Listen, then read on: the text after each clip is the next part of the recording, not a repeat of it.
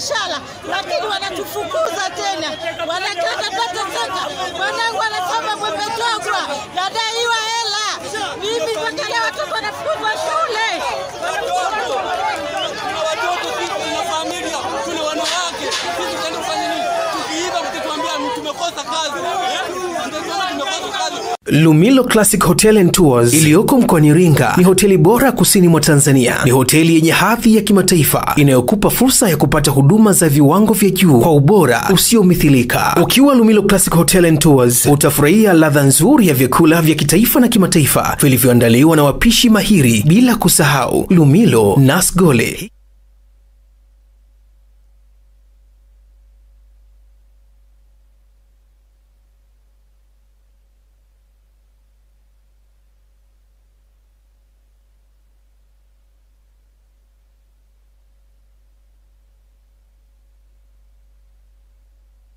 Na jeshi la polisi. Na hii ilitokea baada tu ya wamachinga kuweza kuvamia eneo la hifadhi ya makaburi yaliyopo pale mlandege.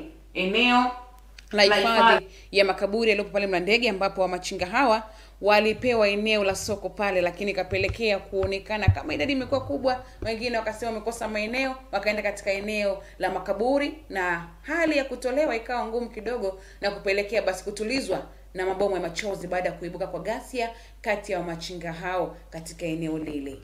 Hii ni matukio ya daima tv tunakwenda kuangazia macho habari ambazo zimeshika nafasi katika magazeti asubuhi ya leo. Tunakwenda kuangazia macho ukurasa wa mbele wa magazeti lakini pia kurasa za nyuma kwa upande wa burudani na michezo siku ya leo. Ikiwa ni tarehe ya kumi na tano mwezi ukiwa ni wa tatu mbili na ishirini na tatu siku ikiwa ni jumatano pia tarehe ya kumi na tano ikiwa ni jumatano pia. Naitwa heret mola karibu. Tuyoyote mpaka tamati mwa mjadala huu wa magazetini asubuhi ya leo. Na naenda kuanza na gazeti la nipashe asubuhi ya leo. Habari kubwa kabisa yaani habari kubwa kabisa katika nipashe asubuhi ya leo mwanga wa jamii inasema kilio wananchi masharti mapya bima ya afya. Kilio wananchi masharti mapya bima ya nhif na hapa kuna picha pia ya mkurugenzi uh, mkuu wa bima wa nhif katika habari picha. Na kilio wananchi masharti mapya bima ya nhif ni kutokana na yale masharti mapya yaliotolewa kuhusiana na toto afya kadi. Pata nakala yako kwa undani kabisa hujue kilio kimekaa upande upi bandari jumuishi kupaisha uchumi visiwani zanzibar. Ni habari iliyoshika nafasi ukurasa wa mbele wa nipashe. Miaka miwili ya samia sekta binafsi yazidi kustawi kuongeza ajira. Ni ukurasa wa pili unaipata habari hii mwa gazeti la nipashe. Lakini habari nyingine nasema wachambuzi wanavyoinoa bajeti ya mwaka 2023 2024 wachambuzi wanavyoiona bajeti ya mwaka 2023 2024 pata nakala yako kwa undani zaidi uweze kuelewa habari hii kwa undani. Lakini habari picha kuna iko hapa ya waziri mkuu Kassim Majaliwa akiwa jana anaonyesha basi ujenzi ule wa barabara na stendi mpya. Pata nakala kwa undani zaidi ili uweze kuelewa nini ambacho kiko ndani ya gazeti la Nipashe mwanga wa jamii. Na pembeni na kamata mwananchi Tanzania. Gazeti la Mwananchi Tanzania habari kubwa inasema NHIF kikangoni. NHIF kikangoni. Wadau wacharuka kusitishwa kwa kifurushi cha Toto Afya Kadi, wakisema haki za maelfu ya watoto zitakiukwa. Waelezea wasiwasi kusajili kujisajili kupitia shule. NHIF fafanua ikielezea malengo milioni 31 ziko hapa. Idadi pia yatakaojisajili na masuala mengine yote yameunganishwa hapa kupitia NHIF kuhusiana na Toto Afya Kadi. Pata nakala yako. Shilingi bilioni mia mbili za NMB kwa beba wanafunzi na mitihani mpya kwa Mbowe upinzani. Mtihani mpya kwa Mbowe upinzani ni gazeti la Mwananchi Tanzania ukurasa wa mbele kabisa. Raila azidi kumtisha Ruto na kuthiga ikulu kwa maandama kutinga ikulu kwa maandamano kumrazi raila azidi kumtisha ruto kutinga ikulu kwa maandamano. Huyu ni kiongozi wa upinzani kule nchini kenya. Anaendelea kumtisha uh, william ruto rais wa kule kenya pia kwamba ataingia ikulu kwa maandamano. Zito ataka mfumo uingizwaji wa mbolea kuangaliwa upya. Huyu ni kiongozi wa ACT Wazalendo. Na nikika pembeni upande wa Zito naangalia anasema Majaliwa na maagizo kumi na tatu kukabiliana na ajali ni siku ya jana hiyo katoa na houseboy aliyeua bosi wa TANAPA kunyongwa. huyu ni houseboy ambaye aliua bosi wake alikuwa akifanya kazi tanapa au kumiwa kunyongwa. Pata nakala hii kwa undani ili ujue imekuwaje mpaka kuhukumiwa kunyongwa. Habari imekaa ndani vizuri. Na kapembeni mwananchi na kamata gazeti la zanzibar leo kurasa wa mbele inasema tabia alitaka shirika la magazeti lije lijiendeshe kibiashara huyu ni waziri wa habari kule zanzibar. Tabia alitaka shirika la magazeti lijiendeshe kibiashara ambayo linapata kurasa wa pili. Uzinduzi wa jarida la neema zetu liko kurasa wa pili ndani na ccm ya waagiza tcm ya waagiza masheha kudhibiti uhamiaji olela. Ni upande wa zanzibar hii habari inahusu hemedi nataka kuona ufanisi bandarini. Huyu ni waziri wa uchukuzi kule zanzibar na dkt mwinyi kuzindua ya zbs kule upande wa zanzibar. Na kapembeni na kamata uhuru ukweli daima gazeti la chama hili linajiita hivyo ukweli daima uhuru. Majaliwa charuka ajali za barabarani. Ni waziri mkuu huyu asema takwimu za walofariki ni kubwa azinyoshea kidole kampuni za mabasi. Asema takwimu za waliofariki ni kubwa anyoshea vidole kampuni za mabasi pata nakala kwa undani. Lakini elfu tano na mia moja thelathini na mbili ni idadi ya vifo vilivyotokea nchini katika kipindi cha miaka mitatu ya ajali hii ambapo rais ambapo waziri mkuu ndo katusema ni idadi kubwa sana kwa mwaka mmoja na mwaka bado hujaisha pia. Rais samia atoa bilioni 266 kujenga bandari ya uvuvi. Habari inayopata kurasa wa ndani nhif fafanua maboresho ya toto afya kadi. Ipo ndani ndani ya gazeti hili pia na mambo matatu ziara ya kamala tanzania huyu ni makamu wa rais kule nchini marekani ambaye anatarajiwa kuzuru nchini tanzania Dr. Samia ampongeza Xi Jinping kuchaguliwa. Huyu ni rais wa China, amechaguliwa tena kwa mara nyingine, na mlima Kilimanjaro kufanyiwa maboresho makubwa. Hii ni habari ambayo inaipata kurasa wa sita ndani ya gazeti hili la Uhuru kwa daima. CCM Zanzibar ijivunia mafanikio ya uchumi wa bluu na NMB yaanzisha huduma mikopo nafuu ya elimu. Pata nakala ya Uhuru kama ni mwanafunzi, uelewe mikopo hii nafuu kwa elimu ni ipi na kamata majira naweka pembeni gazeti la uhuru majira gazeti huru la kila siku linasema hivi ajali zateketeza nguvu kazi nchini zaongeza na kuua elfu nne na sitini zasababisha ulemavu kwa watu elfu sita na mia nne ishiri na saba kwa, mwa- kwa miaka mitatu. Majaliwa agiza uandaliwe mtaala. Habari kwa kurasa wa nne wa gazeti la majira. Habari picha pia kwapa waziri, waziri mkuu Kassim Majaliwa akiwa anazungumza na wale maafisa wa polisi.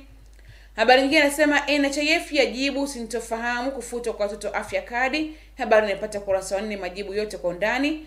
Miaka miwili ya serikali ya awamu ya sita safari ya rais samia na mapinduzi kwenye sekta ya elimu kibaha mjini Unaipata habari ukurasa wa kumi na bilioni ishirina moja za boresha afya tabora miaka miwili ya samia.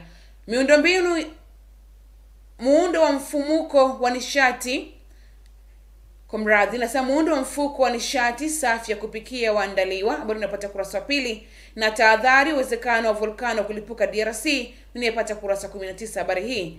Wauguzi wauguzi wakunga kutakiwa kusimamia maadili ya kazi na ajifungia ndani na familia yake ajilipua kwa petroli. Habari hii pia unaipata kurasa wa tatu ndani ya gazeti hili la majira na imetokea kule mbeya. Nini kisa? Pata nakala. Ajifungia ndani na watoto na mke kujilipua na petroli. Tufe wote. Bwana bwana. Ndo tanzania wanasema matatizo ya afya ya akili sijua inakuja kwa kasi kiasi gani ila kila kukicha lazima usikie habari hizi za kuuana kunyongana kujiua ama tufe wote. Nini tatizo? Tuendelee kuangalia na kuangaliana pia kila kukicha nani ana tatizo ndani ya familia tuweze kutibiana mapema kabla jifikia huko. Tanzania leo nikikamata baada ya kumalizana na majira inasema samia awakosha viongozi wa dini wampongeza kwa kufungua nchi kimataifa. Habari unaipata kurasa wa tatu Dito pili amlipua Lema amtaka aombe radhi. Habari unapata kurasa wa pili. Ni mbunge wa viti maalum kule Dodoma. Lakini pia Majaliwa, jukumu la usalama wa barabarani ni la wote, ni waziri mkuu huyu kauli hii. Houseboy ahukumiwa kunyongwa mauaji ya bosi wake, na Kamala Harris, Samia kuweka historia Afrika, ni ziara ya kwanza Tanzania na barani Afrika. Pata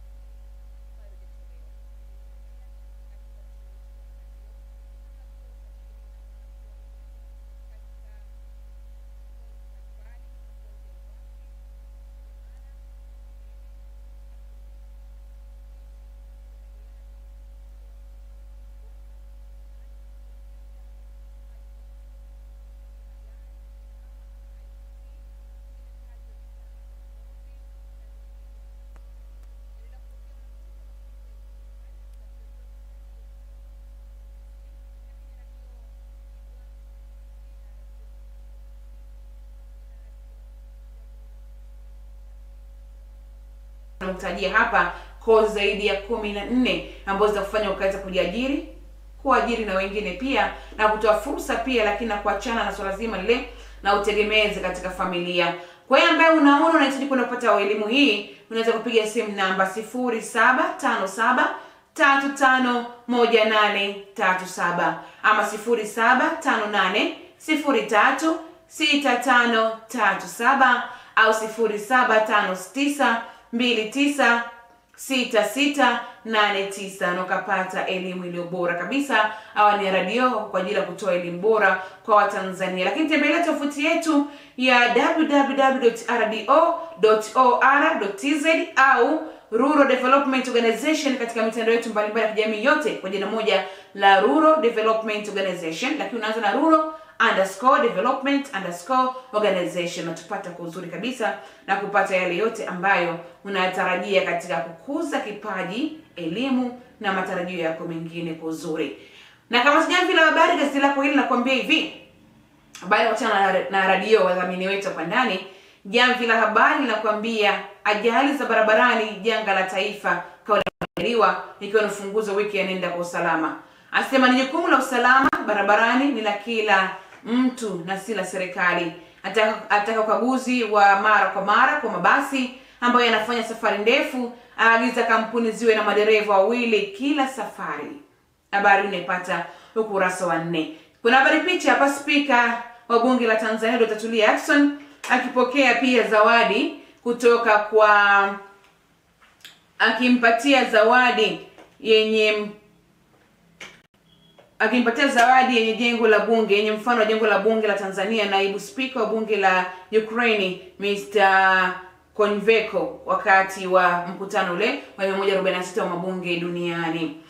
Rais samia atoa bilioni 266.7 ujenzi wa bandari ya uvuvi habari unaipata pia ukurasa wa nne ndani ya gazeti hili la jamvi la habari tanzania. Kinana Teta na mabalozi wa marekani na misri ukurasa wa nne pia unapata habari hii. Na kwa gazeti hili sasa la jamvi la habari nanipa fursa kamata gazeti la wamachinga ambalo linakwenda kuhitimisha nalo kabla kwenda kuangazia macho upande wa michezo na burudani asubuhi ya leo.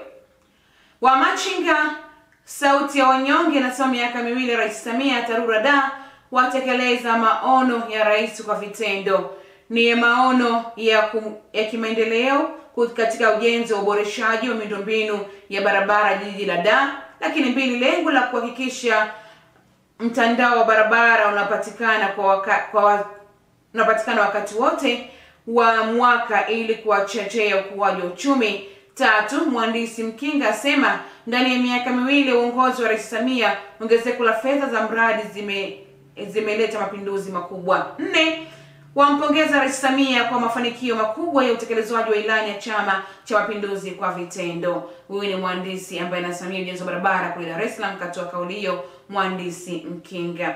Habari kwa ndani ya gazeti hili kwa undani zaidi. Habari picha yuko rais samia yuko na mhandisi mkinga pia hapa ama kwa lugha ya kizungu anasema injinia mkinga.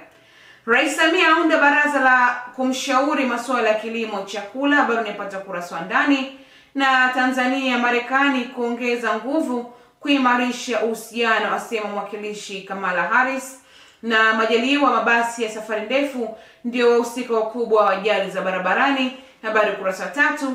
Na serikali kushusha ndege mpya ya mzigo air tanzania kupaa kimataifa. Habari ukurasa wa pili. Na gazeti hili la wamachinga nipa fursa ya kuvuta pumzi tunapata mapumziko stori na tukirejea tunakwenda katika upande wa michezo na burudani ndani ya mjadala magazetini asubuhi ya leo Lumilo Classic Hotel and Tours iliyoko mkoani Iringa ni hoteli bora kusini mwa Tanzania. Ni hoteli yenye hadhi ya kimataifa inayokupa fursa ya kupata huduma za viwango vya juu kwa ubora usiomithilika. Ukiwa Lumilo Classic Hotel and Tours utafurahia ladha nzuri ya vyakula vya kitaifa na kimataifa vilivyoandaliwa na wapishi mahiri, bila kusahau Lumilo Nasgole. Hiki ni chakula maalum kinachopatikana Lumilo Classic Hotel and Tours pekee. Lumilo kuna baa nzuri iliyosheheni vinywaji vya kila aina, vyumba bora vyumba vya kulala kulingana na mahitaji yako, kuanzia single room, standard room, royal room na suite room. Pia kwa shughuli mbalimbali kama vile sherehe, semina, makongamano, matamasha mbalimbali, Lumilo Classic Hotel and Tours ni sehemu sahihi. Usisahau huduma safi na salama ya parking kwa ajili ya ulinzi wa gari yako. Lumilo Classic Hotel and Tours inapatikana mkabala na stendi ya zamani ya mabasi ya Iringa. Kwa mawasiliano zaidi, tafadhali tupigie kwa simu namba 0785328686 au 0716511110 au unaweza kututembelea katika tovuti yetu ya www.lumilohotel.co.tz au unaweza kututafuta kupitia email info at lumilohotel.co.tz. Pia tunapatikana katika ukurasa wetu wa Facebook na Instagram, andika Lumilo Hotel TZ. Furahia mwonekano mzuri wa mji wa Iringa ukiwa Lumilo Classic Hotel and Tours Terrace. Karibu sana. Asante sana studio, tunakwenda kuangazia macho ukurasa wa michezo na burudani, zile habari ambazo zimeshika nafasi katika michezo na burudani asubuhi ya leo, nikianza na Uhuru. Ukweli daima inasema amsha amsha, Simba usipime, amsha amsha, Simba usipime, na ingine inasema Aziziki apewa mikoba Yanga. Habari unayopata ukurasa wa mchezo na burudani.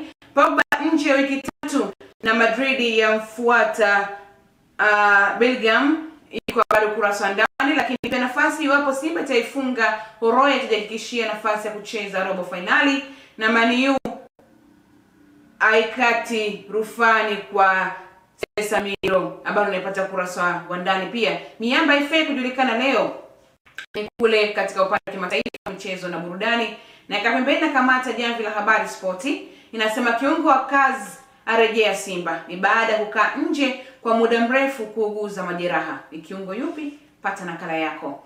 Mjue kinda Tanzania anayetesa Japani. Habari unayopata kurasa wa ndani ni yupi? DNA Diamond imemsaidia kukuza mziki wa Afrika Mashariki. DNA Diamond imemsaidia kukuza mziki wa Afrika Mashariki kwenye kipi? Pata nakala yako ndani zaidi ujipatie habari hii. Tanzania Prison yagomea kushuka daraja. Habari unaipata kwa ndani pia na nika pembeni na kamata gazeti hili la Wamachinga upande wa michezo na burudani, nakwambia Wamachinga Spoti, hamasa kuelekea kimataifa, Simba na Yanga hawapoi. Habari unaipata kurasa kumi na nne. Hamasa kuelekea kimataifa, Simba na Yanga hawapoi, ni tarehe kumi na nane na tarehe kumi na tisa wanakwenda tena kukutana na wapinzani wao. Mgunda akomaa na ubingwa wa ligi kuu, Yanga yazidi kujikita kileleni kadi nyekundu ya Sesamiro, pigo kubwa kwa Man United na Kostatich aliv, alivyokuwa karibu na masta wa Bongo. Habari unaipata kurasa kumi na tatu. Huyu ni msanii wa mziki wa mapiano kule nchini Afrika Kusini ambaye amefariki majuzi jukwaani, Kostatich. Lakini tukiachana na habari hii hapo, tunaangalizia macho pia michezo na burudani. Majira inasema morali ya uchezaji yampa kiburi Nabi kuiua Monastri morali ya uchezaji yampa kiburi Nabi kuiwa Monasri. Matawi yapewa mikakati watakaochangia wataka damu kuingia bure kwa Mkapa, watakaochangia damu kuingia bure kwa Mkapa kuitazama Monasri na Yanga. Kapombe Shabalala waipa, rufa, waipa furaha Simba.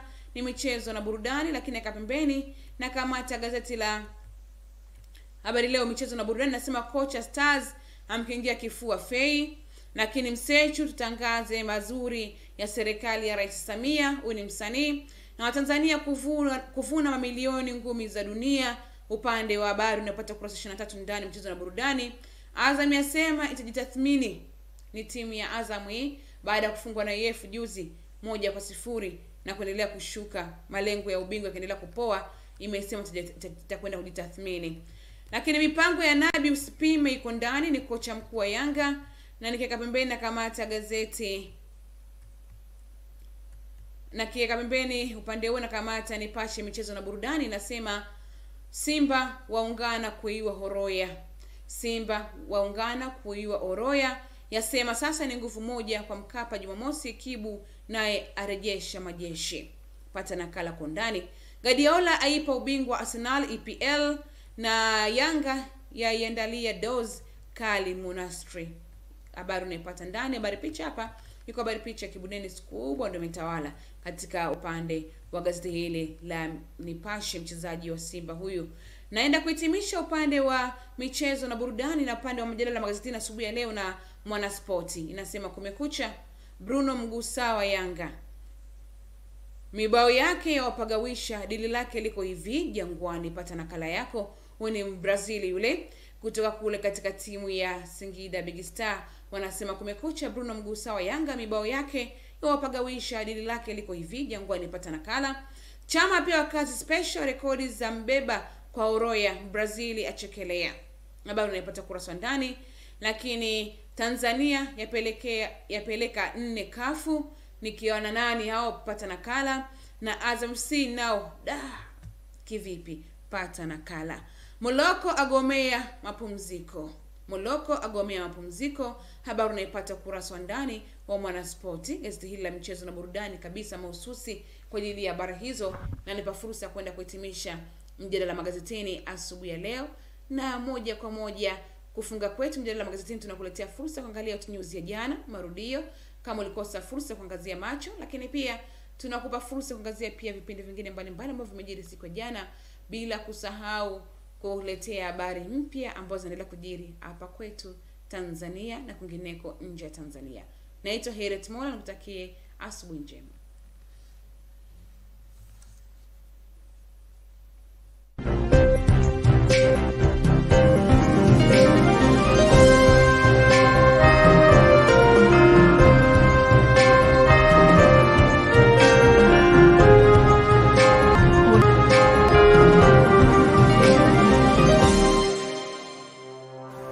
Vijana hutoka katika mazingira magumu na kutokata tamaa ya maisha, kwani hata wao wana uwezo wa kufanikiwa kiuchumi.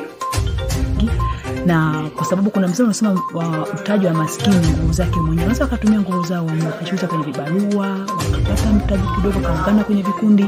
Watoto sita na mtu mzima mmoja amefariki dunia baada ya kula samaki aina ya kasa. Hawa hao waliofariki kama ifuatavyo. Wa kwanza Na kimataifa, idadi ya vifo kutokana na kimbunga Freddy nchini Malawi yafikia 99 na tahadhari yatolewa kuhusu uwezekano mlipuko wa volkano nchini DRC.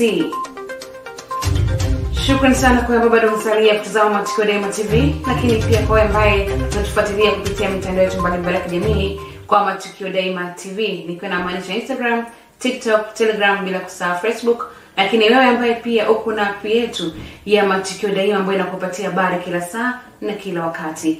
Hii ni matukio Daima Hot News na mimi naitwa Heret Mola ambaye nitakuletea habari hizi kuanzia kitaifa, kimataifa, bila kusahau michezo na burudani. Karibu. Imeelezwa kuwa vijana waliokata tamaa ya maisha wana uwezo wa kuwa na uchumi mzuri kuliko wale waliokulia katika mazingira mazuri iwapo watajikubali na kutumia fursa zinazozunguka vizuri. Rai imetolewa katika ukumbi wa Igoda yatima wilayani Mufindi mkoani Iringa na mkufunzi wa mafunzo ya ujasiriamali kwa vijana wa Mufindi YAM mwadhiri kutoka chuo kikuu cha Iringa Dr. Blandine Kisavike na kuongeza kuwa ili vijana wafanikiwe kimaisha ni lazima wajiamini kwanza na kusahau matatizo yote na kujituma katika kufanya kazi kwa bidii. Kwa sababu wakiangalia nyumbani pale mazingira ni duni, kwa wengi wamefika mahali wakaona ni maisha kwao ni duni na wanaweza wakafa wakiwa masikini. Lakini ukweli ni kwamba fursa ziko nyingi, na kwa wanafunzi ambao wanaishi mazingira yako ya Mfindi, Mfindi na ardhi nzuri, ambao wanaweza kujishughulisha kwenye kilimo, wanaweza kujishughulisha kwenye ishi ya ufugaji, lakini pia kuna binti ambao wanapenda ushonaji, kuna vijana ambao wanapenda fundi mechanics na vijana ambao wanapenda ufundi seremala. Kwa hiyo mimi nawaasa vijana wa Mfindi wasikate tamaa, ziko fursa nyingi na kwa sababu kuna msemo unasema wa mtaji wa maskini nguvu zake mwenyewe. Wanaweza wakatumia nguvu zao wenyewe, wakashuta kwenye vibarua, wakapata mtaji kidogo, wakaungana kwenye vikundi, wakaomba hata mkopo serikalini kwenye halmashauri, wakapata mtaji na wakafanya biashara zikawakamua katika maisha. Kwa hiyo nawashauri vijana wa upinde wasikate tamaa. Kwa upande wao washiriki wa mafunzo hayo Sifuni Mdimu na Agata Chumi wamesema mafunzo hayo yanaonyesha mwanga wa maisha na kujiona ni tofauti, na hivyo wana imani ya kuwa mfano bora kwa jamii yao inawazunguka. mimi mwenye kupata akili mimi mwenye kupata akili ya kujitanua ku, ku, kutafuta fursa. Cha kwanza. Cha pili, mimi nilikuwa na ndoto za kuwa mjenzi na na imani ita, itatimia tu, na pia kwa sababu sija sitajifunza mambo ya ujenzi tu, tajifunza hata ujasiriamali mwingine kama ufugaji, kilimo. Mimi nimetokea katika familia ya mzazi mmoja, mamangu alifariki na nina wadogo zangu wawili, dadangu na dadangu moja. mmoja. Katika familia tupo wanne. Tuna dada yangu wa kwanza, mimi wa pili, watatu ipo form 1, wa mwisho ipo la tano. Hao wote wananiangalia mimi kwa sababu dada yangu mwenyewe hayupo. Nilipokuwa kijijini nilikuwa natunza familia wadogo zangu, pia tulikuwa tunaishi na baba. Kwa sasa nimepata fursa hii, nimekuja kusoma ili nijikwamue kimaisha, niweze kusaidia familia yangu. Na meneja mradi wa YAM Zilipa Mgeni amesema mafunzo hayo ni mwendelezo wa mafunzo mbalimbali ambayo yamekuwa yakitolewa na mradi wa YAM kwa vijana wa kata tatu za wilaya ya Mufindi ili kuwawezesha kiuchumi na inashirikisha vijana mia moja wakiwemo wajumbe 32 wa kamati ya ulinzi na usalama kwa watoto wa kamati ya ulinzi na usalama ya watoto vijijini. Mgeni ni meneja wa mradi wa YAM. Uh, kwa ujumla mradi wetu wa YAM umeleta mafanikio makubwa ndani ya kata tatu, kata ya Ruhunga, Mdabulo na Ihanu ndani ya vijiji kumi na sita. Tangu mwaka elfu mbili na ishirini na moja tulivyoanza mradi huu umeonyesha mabadiliko makubwa. Vijana wanafanya mapinduzi makubwa kwenye swala la ujasiriamali, swala la kujitegemea wenyewe baada ya kupata mafunzo haya na mpaka sasa mwaka elfu mbili na ishirini na moja tunatoa mafunzo kwa vijana wengine mia moja ikiwa ni awamu ya tatu. Vijana hao kwa sasa wanapata mafunzo ya ujasiriamali pamoja na na mafunzo mbalimbali. Pia tunao wawakilishi yani VCPC, kamati ya ulinzi wa usalama wa mtoto vijijini, wanaendelea nao kupata mafunzo kwa ajili ya kuendelea kusisitiza na kuhamasisha utetezi wa haki za mtoto huko vijijini. Watu saba wamefariki dunia baada ya kula samaki aina kasa na kusadikiwa kuwa na sumu kutoka katika kijiji cha Bweni na Kanga wilayani Mafia mkoani Pwani. Kati ya marehemu hao sita ni watoto wadogo kuanzia umri wa miezi saba kutoka kwenye kaya nne tofauti na kwamba wamebainika walikufa kwenye kati tofauti kama ambavyo kaimu kamanda wa polisi mkoa wa Pwani kipolisi Rufiji Kanute Mas Kanute Msaki anavyotuelezea hapa. Taarifa hii kwa undani. muda wa saa moja huko katika kijiji cha Bweni na kijiji cha Kanga, kata ya Kanga, tarafa ya Kaskazini, wilaya ya Mafia na mkoa wa kipolisi Rufiji. Watu saba toka katika kaya nne tofauti walibainika kufa baada ya kula nyama ya samaki aina ya kasa anayesadikika kuwa na sumu. Majina ya hao waliofariki kama ifuatavyo. Wa kwanza anaitwa ni Abdalla Hatibu Nyakombo, huyu ana miaka minne, ni Mshirazi na mkazi wa Bweni. Wa pili ni Makame Hatibu Nyikombo, huyu ana miaka tisa, ni mwanafunzi wa darasa la pili shule ya msingi Bweni. Watatu anaitwa Mohamed Juma Makame, huyu ana miezi saba, Mshirazi na mkazi wa Bweni. Wa nne anaitwa Al Suleiman, huyu ana miezi nane, ni mdengereko na mkazi wa Kanga. Wa tano anaitwa Salima Dota Omari Mjohi, huyu ana miaka 28, ni Mshirazi, mkulima na mkazi wa Bweni. Wa sita anaitwa Minza Dota Vujuma Hatibu, huyu ana miezi kumi, ni mdengereko na mkazi wa Bweni. Na wa saba ni Ramadhan Karim, huyu ana miezi nane, ni mdengereko na mkazi wa Bweni. Aidha, marehemu hao walifariki majira tofauti tofauti katika tarehe tajwa hapo juu. Miili ya marehemu imefanyiwa uchunguzi wa kitabibu katika hospitali ya wilaya ya Mafia na kukabidhiwa kwa ndugu kwa ajili ya taratibu za mazishi. Chanzo cha tukio hilo bado kinaendelea kuchunguzwa na watuhumiwa watatu wanashikiliwa na jeshi la polisi wilaya ya Mafia kwa ajili ya mahojiano zaidi. Na idadi ya watu waliofariki kutokana na kimbunga Freddy nchini Malawi imeongezeka hadi kufikia 99 siku ya jana Jumatatu, huku vifo vingi huku vifo 85 vikirekodiwa katika jiji la balter pekee. Nchi inajitahidi kuzuia athari za dhoruba ambayo imesababisha uharibifu haswa katika wilaya kumi za mkoa wa kusini mwa Malawi. Mvua kubwa iliyoambatana na upepo mkali imeharibu nyumba, kusomba barabara na madaraja, kuharibu mashamba ya mazao na kutatiza uzalishaji wa umeme. Hospitali kuu ya rufaa mjini Bater inasema imelemewa na idadi kubwa ya miili ambayo inaendelea kupokelewa, huku ikitoa wito kwa familia ambao zimefiwa ama ambao ndugu zao wamepotea kwenda katika hospitali hiyo kutambua na kuchukua miili hiyo kwa ajili ya mazishi, kwani hospitali hiyo inakosa nafasi ya kuchukua wengine. Hata hivyo, dhoruba hiyo imelemaza uwezo wa kuzalisha umeme, huku sehemu nyingi zikikabiliwa na kukatika kwa umeme kwa muda mrefu, na kampuni ya kitaifa kuzalisha umeme imesema haiwezi kurejesha nguvu kwa mtambo wake kwa kufua umeme kutokana na mrundikano wa uchafu uliosababishwa na mafuriko hayo.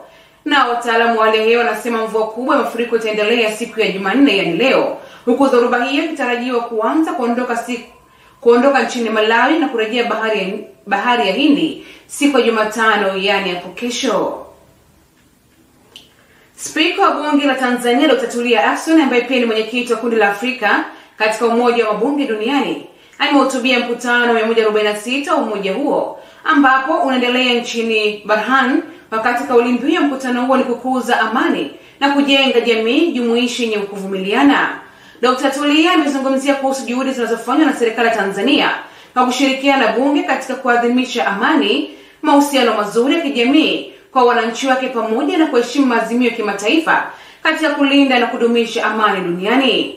Katika hatua nyingine, Lotatulia Tulia amewasilisha hoja ya dharura kwa niaba ya kundi hilo la kuchagiza kuundwa kwa mfuko wa maafa duniani kwa ajili ya kusaidia nchi zinazoathiriwa na majanga ya asili na mabadiliko ya tabia nchi huku duniani.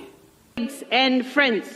That said, it's important for our respective parliaments to ensure that the government are properly advised on the adoption of policies and implementation of programs that promote coexistence. At the time, uh, at the same time, Parliament should pass laws and oversee regulations that promote inclusiveness and fight intolerance. This includes criminalizing incidences, actions, and speeches that divide our societies. This must be done timely, on time, early enough before any escalation. Uh, dear colleagues and friends, I thank you for your attention. Na katika kusherehekea miaka miwili Rais Samia Suluhu Hassan madarakani, pikipiki 85 zenye thamani ya shilingi milioni 200 zimegaiwa kwa maafisa wa Uganda kilimo katika halmashauri ya wilaya ya Muleba mkoani Kagera kwa lengo la kuimarisha na kuboresha huduma za ugani vijijini ili kuwafikia wakulima kwa wakati. Akizungumza katika makabidhiano hayo, mkuu wa wilaya ya Muleba Abel Nyemwanga amewataka maafisa kusimamia na kutunza pikipiki hizo na kuhakikisha zinafanya kazi ambayo imekusudiwa. niwatie moyo, nendeni mkavitumie, nendeni mkajifunze, muwe madereva wema, mvitunze. Baada ya kusombea mkaa hivi, vite, vitendeni vifaa hivyo kwa matakwa yake, kwa kiu yake ya Mheshimiwa Rais wa Jamhuri ya Muungano wa Tanzania. Naye mkurugenzi wa halmashauri hiyo Elias Kaendabila amewataka maafisa hao kutumia vyombo hivyo kwenye nyakati za kazi pekee ili kuweza kuondokana na ajali pamoja na madhara mengine ambayo yanaweza kuepukika. Wewe wasihi sana vyombo hivi vitunzwe, lakini pia vitumike kwa matumizi ambayo ni sahihi tu, kwa maana ya wakati wa kazi. Wewe ukiona kwamba una mambo yako sasa unataka kuyafanya wakati wa ka, baada ya kazi, vizuri sana ukapaki hivi vyombo, alafu ukaendelea sasa na hayo mambo yako eh, mengine, kwa sababu niwahakikishie tu sisi sote hapa mnapotuona kwa umoja wetu tunawapenda sana. Kwa hiyo tusingependa tuwakabidhi vyombo hivi alafu baadaye tuanze kujuta kwa nini tuli tulikukabidhi chombo hiki. Ujenzi wa kituo cha malori katika mtaa wa Ibura manispaa ya Bukoba mkoani Kagera umeonekana kuwa na dosari, hali iliyopelekea mkuu wa mkoa huo Albert Lamila kuitaka taasisi ya kuzuia na kupambana na rushwa nchini TAKUKURU kuchunguza mradi huo ambao umegharimu shilingi milioni 475.5. Hatua ya mkuu wa mkoa wa Kagera imekuja mara baada ya mkuu huyo kupokea taarifa ya ujenzi wa kituo hicho na kuonekana uwepo dosari nyingi ambazo zinaleta mashaka katika upande wa ujenzi wake. Ukipita usiku hapa, taa hizi ni kama kibatari sio na taa au sio na mafuta. Kwa hiyo natoa maelekezo kwamba pamoja na kwamba nitaweka jiwe la msingi, kwa sababu jiwe la msingi si jiwe la kufungua, ni jiwe tu la msingi kuonyesha bado kuna kazi zitaendelea. Nitoe maelekezo kwamba taa hizi inapaswa zibadilishwe, na kama mkandarasi aliye supply kuna ugumu wa kubadilisha, maelekezo yangu ya pili, TAKUKURU ifanye kazi ya kukagua mradi huu kwa ujumla ili kuweza kuangalia taa ambazo zilikubaliwa kuwekwa zimewekwaje na kadhalika, pamoja na mambo mengine. Wataalamu wa volkano wamesema kuwa umeshuhudia ongezeko la lava juu ya mlima volkano wa Nyiragongo mashariki mwa Jamhuri ya Kidemokrasia ya Kongo. Hii imesababishwa na kushuka kwa lava kwenye maeneo ya wazi ya kina kuelekea kwenye shimo la kreta la volkano ya Nyamulagira kulingana na data za hivi karibuni. Mlipuko wa mwisho wa Nyamulagira ulitokea mwaka 2011 ukiwa ndio mlipuko mkubwa zaidi wa volkano kuwahi kushuhudiwa katika kipindi cha miaka mia moja. Nyamulagira katika timu wa mbuga ya wanyama ya kitaifa ya Virunga ambayo ni makao ya ambayo ni makao ya soko ya milimani, na iwapo mlipuko huo mpya utatokea, lava itashuka kuelekea upande wa mbuga, na waangalizi wa volkano waliopo Goma wametahadharisha siku ya jana Jumatatu kuhusiana na swala hilo. Na kwa sasa kuna vitisho vya mji wa Goma ambako unakaliwa na watu laki sita na elfu sabini kulingana na makadirio ya Umoja wa Mataifa yaliyofanyika hivi karibuni, lakini jivu la volkano na mawe kupo na mawe ya kupoa kwa lava vinaweza kuperushwa na upepo katika maeneo ya makazi, ilisema taarifa ya uangalizi hiyo, ambayo imeendelea kutoa tahadhari kwa wananchi. Na mkazi wa kijiji cha Kiperasa wilayani Kiteto mkoani Manyara, Isa Shabani mwenye umri wa miaka 32 amenusurika kifo na kulazwa hospitali ya wilaya ya Kiteto baada ya kupigwa na tembo walioonekana wakirandaranda mjini kwao. Tembo hao walionekana karibu na makazi yao wakila mahindi, kisha watu wakasogelea na kutaka kupiga nao picha. Kamanda wa jeshi la polisi mkoa wa Manyara RPC George Katabazi RPC George Katabazi ameelezea kuwa Machi 12 mwaka 2023 tembo watoto walionekana katika kijiji cha Kiperasa wakati wa mchana wakirandaranda kwenye mashamba ya watu waliopokuwa karibu nao na makazi yao. Hata hivyo, tembo wao kuwa na shida, lakini walianza kucharuka mara baada ya kundi kubwa la watu kuwasogelea na wengine wakipiga nao picha ama selfie, hali lowapa usumbufu na kisha kujeruhi mtu mmoja ambaye kwa sasa amelazwa katika hospitali ya wilaya ya Kiteto. Hata hivyo, jeshi la polisi limetoa wito kwa wananchi kuacha kusogelea wanyama wakali kama tembo, kwani kufanya hivyo ni kuhatarisha maisha yao binafsi. Naye kaka wa majeruhi Shabani Kizuri akizungumzia tukio hilo amesema baada ya kupata taarifa ya mdogo wake kujeruhiwa na tembo huyo, ilikuwa ni kazi kwenda kuwaokoa hapo, kwa kuwa tembo hao walikuwa karibu na yeye na ilikuwa rahisi kusimama na ilikuwa rahisi kusimama kwa kuwa alijeruhiwa zaidi na alipelekea uchumba wake kutoka nje. Na mtazamaji wa Matukio Rema TV, na kwa taarifa hii ya kutoka kule Kiteto mkoani Manyara ya wananchi kutaka kupiga selfie na tembo ama picha na mnyama hatari kama huyo, inatoa fursa kwenda kuangazia macho habari za michezo na burudani. Na kocha mkuu wa polisi Tanzania mwenye Zahira amesema japokuwa wapo katika nafasi ya mwisho kwenye msomo wa ligi kuu Tanzania bara, lakini bado anaamini kikosi chake akitashuka daraja msimu huu wa 2022 2023. Polisi Tanzania ilipoteza mchezo uliopita dhidi ya Dodoma Jiji FC iliyokuwa nyumbani uwanja wa Jamhuri mjini Dodoma Jumapili ya Machi 9 kwa kukubali kichapo cha mabao mawili kwa sifu kwa moja. Hata hivyo matokeo hayo yameifanya Polisi Tanzania kuendelea kushika nafasi ya 16 katika msimamo wa ligi kuu Tanzania ikiwa na alama 19 walizokusanya ndani ya mchezo 25 waliocheza hadi sasa. Kocha Zaira amesema pamoja na kuwa katika mazingira mabaya ya kushuka daraja, bado naamini kikosi chake kina, nafasi kubwa ya kupambana katika michezo iliyobakia na kujiondoa huko kilipo kwa sasa. Amesema kimehesabu bado na amesema kimehesabu bado na alama za kutosha ambazo zitawaondoa kwenye nafasi ya mwisho, na endapo atashinda michezo iliyosalia msimu huu, na kazi anayoanza kufanya hivi sasa ni kuwajengea kisaikolojia wachezaji wake ili kushinda na kupata alama tatu za kila mchezo unaokuja mbele yao.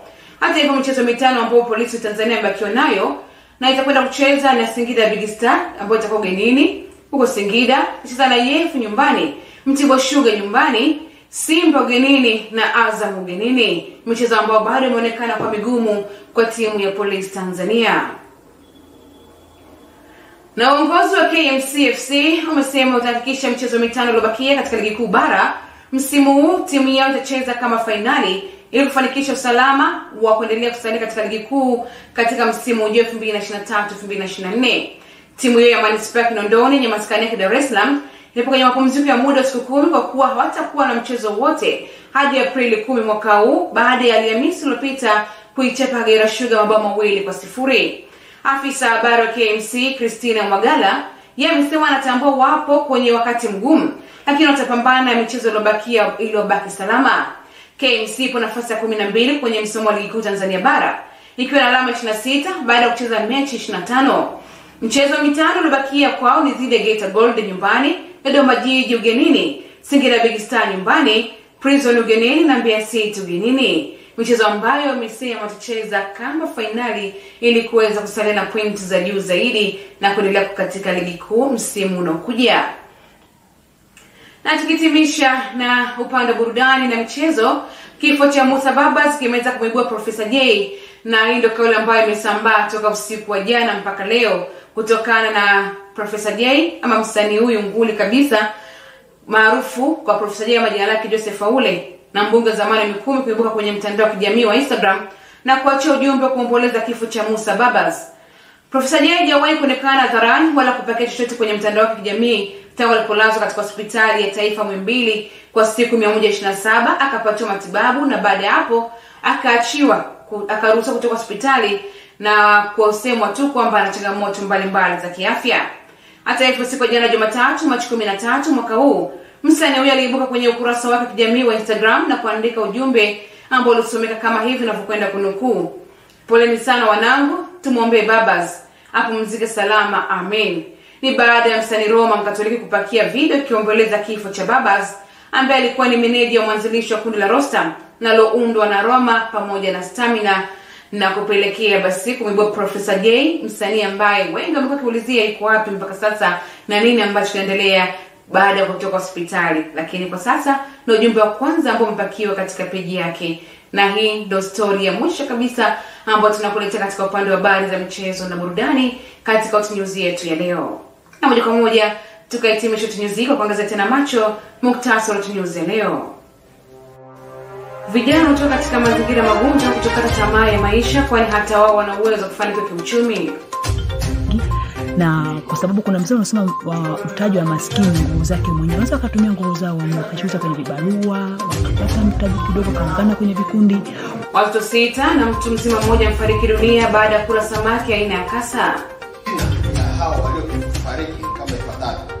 Wa kwanza Na kimataifa, idadi ya vifo kutokana na kimbunga Freddy nchini Malawi yafikia 99 na tahadhari yatolewa kuhusu uwezekano mlipuko wa volkano nchini DRC. Shukran sana kwa umekuwa na matukio TV kuanzia siku ya leo imekucha mpaka hapa tulipo. Nikutakie tu siku njema, lakini nikusii endelea kusalia na matukio TV kwa ajili ya vingine vingi vinavyoendelea kukuletea kila sana kila wakati. Kwa niaba wote, naitwa Heret Mola, asante.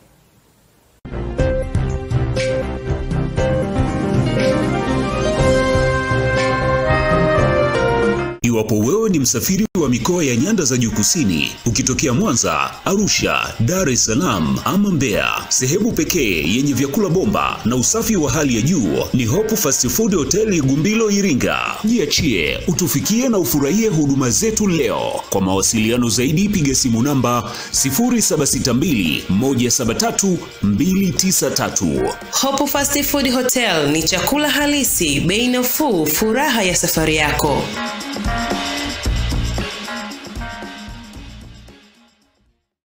Huu ni wakati wako mkulima na mfugaji kupata huduma bora kwa gharama nafuu zaidi. Alpha Agrovet Supplies Limited wamekuja kuhudumia wewe mkulima kwa huduma za viuatilifu vya kupalilia mazao aina zote kama vile mahindi, mpunga, maharage, chegere, alizeti, soya, vitunguu, nyanya na mazao mengine. Tumekusogezea mkulima. Pia tunauza bomba za kupulizia viuatilifu kwa mazao yote. Zipo bomba za kuchaji na za kawaida, mashine za kupandia mahindi, maharage, jegele, alizeti, soya, vitunguu na karanga. Ndani ya maduka yetu tunauza viuatilifu vya wadudu, ukungu, kutu na kadhalika. Pia tunauza mbolea aina zote kwa ruzuku ya serikali, bila kusahau majembe ya mikono na mabuti aina zote. Alpha Agrovet Supplies Limited tunapatikana stendi kuu ya zamani Miomboni mjini Iringa. Pia tumefungua duka kubwa jipya la kisasa eneo la Samora roundabout mjini Iringa na Ilula Mtua, au unaweza kutupigia simu kwa namba 0